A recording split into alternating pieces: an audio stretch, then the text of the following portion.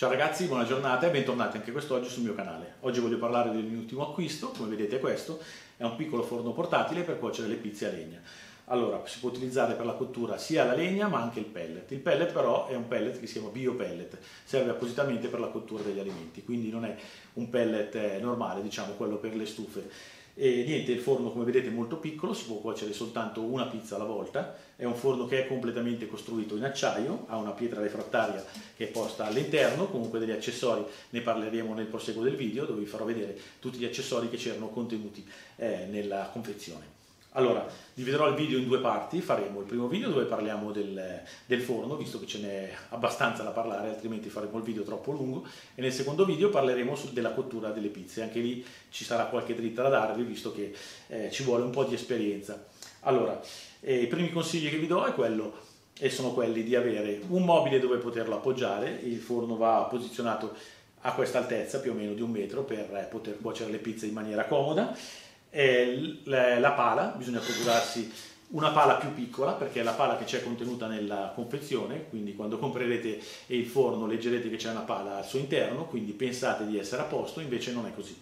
Questo perché? Perché la pala che c'è contenuta al suo interno è larga quasi quanto la larghezza del forno, quindi cosa succede? Che potete inserire la pizza al suo interno, però poi quando dovrete girarla e la pizza va girata, questo perché?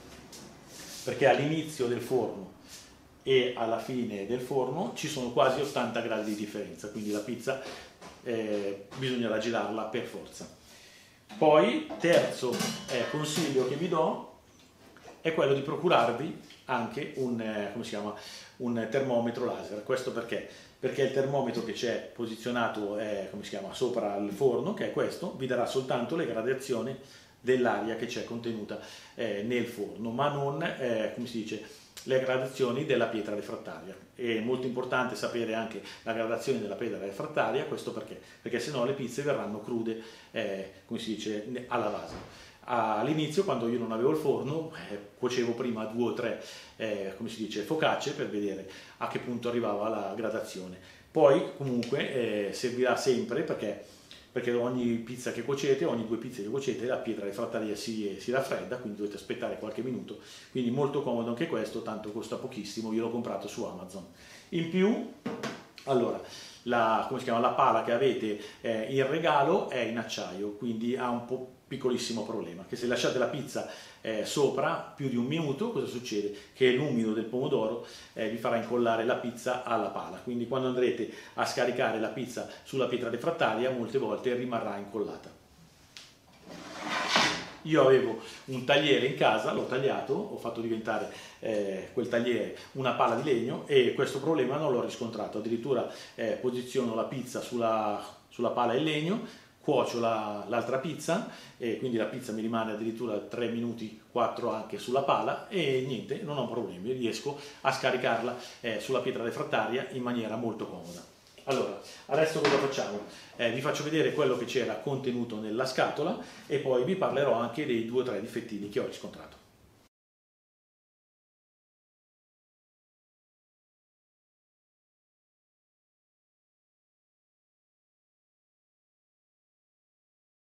Ora diamo un'occhiata al contenuto della scatola. Chiaramente la pietra refrattaria, come vedete non è appoggiata sulla base, tramite questo supporto è stata sollevata 2 cm, questo serve chiaramente per riscaldare la parte sotto della pietra. Una paletta per inserire il pellet, se vogliamo utilizzare il pellet per cuocere la pizza, chiaramente il libretto delle istruzioni, poi una griglia così possiamo utilizzare il forno anche per cuocere la carne e questa è una vaschetta per la raccolta dei grassi. Come vedete per togliere sia la vaschetta che la griglia si può utilizzare questo supporto. Diamo un'occhiata un po' più da vicino al forno. Questo è lo sportello per aprire il forno chiaramente e da qui partiamo con uno dei problemi che ho riscontrato. Come vedete il manico tende sempre a svitarsi. Apertura del forno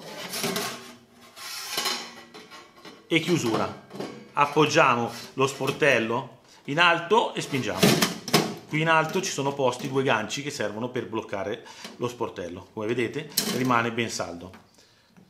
termometro che serve per vedere la gradazione che c'è all'interno del forno.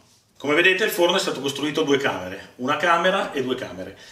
La seconda camera chiaramente serve per tenere il caldo all'interno della prima. Nella seconda lamiera troviamo tantissime fessure, come vedete, queste servono chiaramente per far incanalare il fumo. In fondo troviamo una lamiera che è posta a 30 gradi, questa ha duplice funzione, come fermo per il braciere e poi chiaramente per far defluire il fuoco verso l'alto, chiaramente per non bruciare la pizza. Poi comunque in un video vi faccio vedere come lavora il fuoco. Questa è la parte posteriore col suo braciere. Il braciere è molto solido, è costruito veramente bene, è molto più spesso come acciaio rispetto alla costruzione del forno. Come vedete ha la raccolta per le ceneri, perché chiaramente noi avremo sempre bisogno eh, del fuoco. Quindi cosa facciamo? Ogni tanto dobbiamo appicchiettare e far cadere la brace in basso, che rimarrà appoggiata qui. Questo è il problema che ho riscontrato. Come vedete mi stanno saltando tutti i rivetti, i rivetti sono troppo piccoli e me ne sono già saltati 1, 2, 3 e 1, 4 posto all'interno. Secondo me il problema sono che i rivetti sono troppo piccoli, sono rivetti del 3, perché ho notato che tutti i forni sono costruiti con i rivetti, ma tutti hanno i rivetti eh, del 5 o del 6. Questi sono troppo piccoli. Quindi adesso non so se comprare dei rivetti più grossi e vedere se risolviamo il problema, o invece mettere delle viti. Le viti sono esteticamente meno belle, però avranno una tenuta maggiore. Come vedete, il braciere è completamente fissato con le viti e rimane bello stabile. Ho riscontrato questo problema comunque anche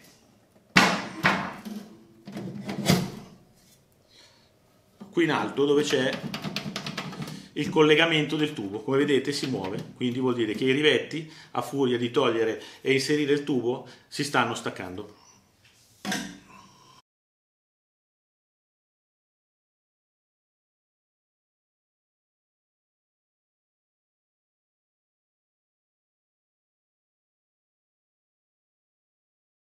Prima mi sono dimenticato di farvi vedere la pala che c'è in dotazione, come vedete questa, è in acciaio, ha un diametro di 30 cm e un comodo manico in gomma per non farvi scottare quando tirerete fuori la pizza.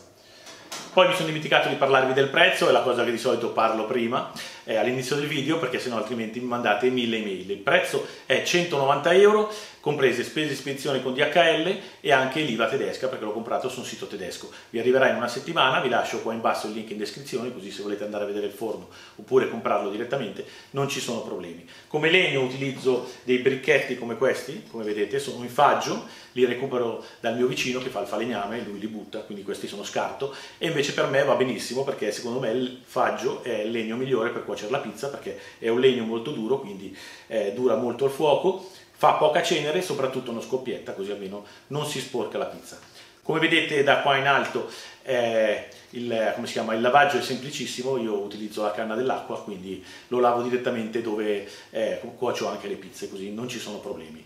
Siamo giunti anche quest'oggi al termine del video, spero che vi sia piaciuto, se è così mettete un like e iscrivetevi al canale se non l'avete ancora fatto, così quando farò il secondo video dove parlerò della cottura delle pizze starete informati con una notifica. Buona domenica!